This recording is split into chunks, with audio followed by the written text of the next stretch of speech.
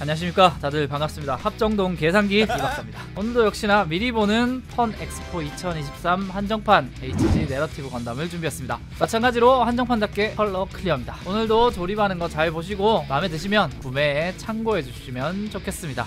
먼저 clear 사출 한번 봐보도록 하죠. 아 왜 이렇게 많냐 이거? 일단 clear는 milky clear인데 완전한 milky보다 약간 노란빛이 보이는 milky clear입니다 자 다음은 남색 clear. 남색답게 살짝 진하게 나온 사출색 보실 수 있네요. 남색도 있고 파란색도 있습니다.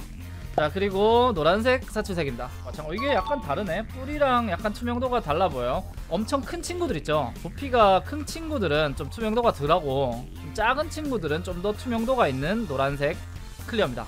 그리고 blue gray clear도 있습니다. 거의 mechanical clear 같은데 살짝 회색빛 들어간 clear도 있네요 이 친구는 혼자 자립이 절대로 불가능하기 때문에 스탠드가 들어있는데 스탠드에는 펄이 굉장히 두껍게 들어가 있네요. 그리고 빨간색 clear도 있습니다. 그리고 프레임 사출색입니다. 프레임은 아 이거 metallic blue 같은 느낌이 들어가 있는 사출색이네요. 어, 프레임 색깔이 굉장히 예쁘네요. 어, 조립 시작해보도록 하죠. 와 옆에 이거 되게 예쁘다. 얼굴 옆에 약간 회색 같은 clear 있죠? 이게 되게 예쁘네.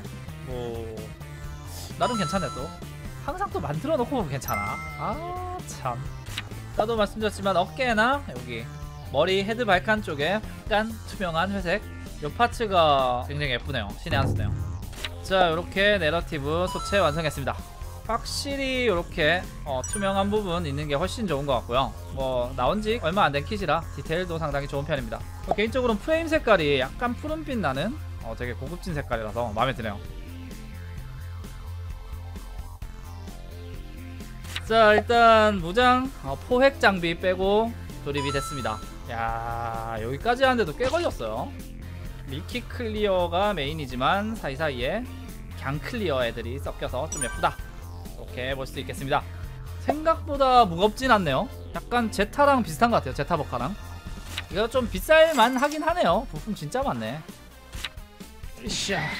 아 크고 아름다운 내러티브 A 장비입니다 이쪽으로는 한 40cm 넘네요. 한 요거 뒤에 프로펠러 탱크까지 치면은 한 45, 50cm 될 것 같네요. 약간 미니 미니 덴드로비움 뭐 그런 느낌이에요.